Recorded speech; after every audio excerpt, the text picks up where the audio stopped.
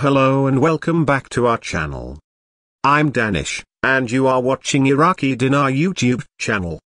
Hopefully you all will be fine let's start today. The discussion surrounding the Deleting the Zeros project in Iraq has once again gained significant traction, highlighting its intricate nature and the complexities involved in its implementation.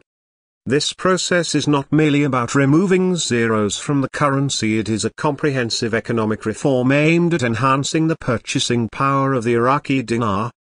Initially, the project involves raising the purchasing power of the dinar, which is then followed by the issuance of lower denominations.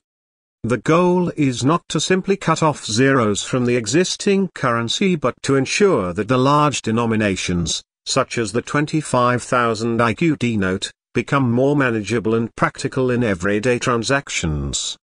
The Iraqi government has been very clear about this approach in various official documents, including those from figures like former central bank governors Sinan al-Shabibi and Mustafa Ghalib, the situation today is vastly different from what it was two decades ago when privatizing banks or implementing such large-scale currency reforms were not even on the agenda. The landscape has evolved considerably since 2016 and even more so since 2018. The fact that Iraq printed a significant amount of currency in 2018 and then paused further printing suggests a strategic approach to currency management, reflecting the complexities beyond just pushing a button. Corruption has been a known factor hindering progress, but the involvement of international auditing firms like Ernst Young indicates a renewed focus on transparency and accountability.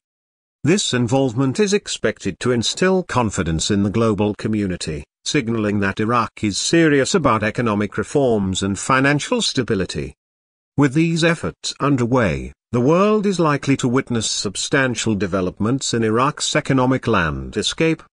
Iraq's role as a major crude oil exporter cannot be understated, with approximately 65% of its oil being exported to Asian markets, particularly to energy-hungry nations like China and India. The remaining 35% is divided between Europe, which receives 20%, and the United States, which accounts for 15% of Iraq's oil exports. The successful negotiations in Washington have also sparked discussions about a potential decline in demand for the US dollar, as nations explore alternative currencies for trade. The recent developments in New York further underscore Iraq's growing capability in global currency exchanges. Starting last Friday, Iraq successfully activated its ability to digitally convert Iraqi dinars into other currencies and vice versa, marking a significant milestone in its financial integration with the global economy. The revaluation process of the Iraqi dinar is believed to be complete, with the market now awaiting its reopening to observe the effects.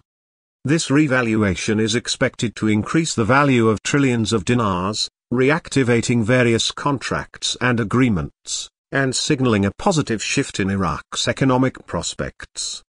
The economic developments the Iraqi Central Bank has entered into a contract with a renowned international auditing firm based in New York, as part of its broader efforts to enhance transparency and regulatory compliance within its financial system. The central bank's collaboration with global financial giants such as Visa, MasterCard, and MoneyGram reflects Iraq's commitment to aligning with international financial standards. The involvement of KPMG, a highly respected auditing firm, highlights Iraq's focus on strengthening its financial infrastructure and building trust with global partners. These efforts are likely to attract increased foreign investment, further integrating Iraq into the global economy.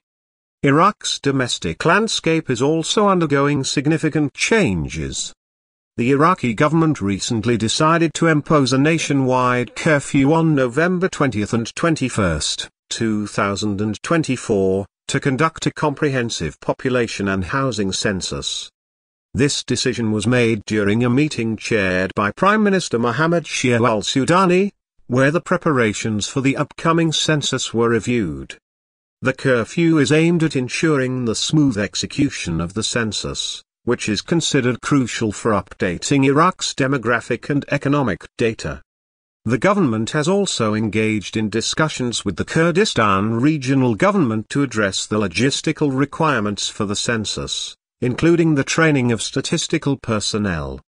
The ministries of education, higher education, and scientific research have been tasked with supporting the census by preparing classrooms for training, while youth centers will be mobilized through the Ministry of Youth and Sports.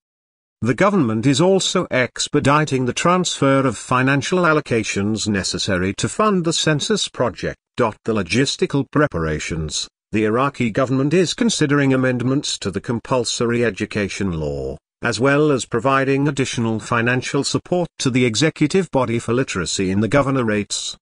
These steps are part of a broader effort to address population issues, as outlined in the recommendations from international conferences and national commitments. The Ministry of Planning, through the General Authority for Statistics and Geographic Information Systems, is playing a central role in these efforts including the ongoing census and related surveys, such as the Social and Economic Survey of Families in Iraq and the Multiple Indicator Survey.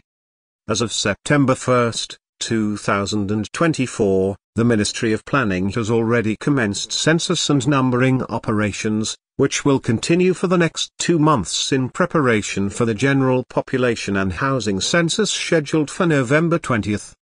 These efforts are expected to provide vital statistical indicators that will inform Iraq's future economic and social policies.